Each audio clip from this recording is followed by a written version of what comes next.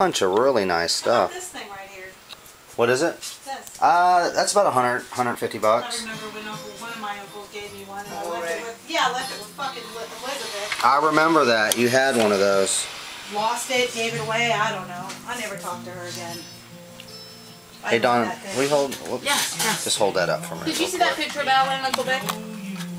Didn't show you on Facebook? Y'all didn't show Mom that picture? I don't think Uncle Vic and I, I haven't showed it.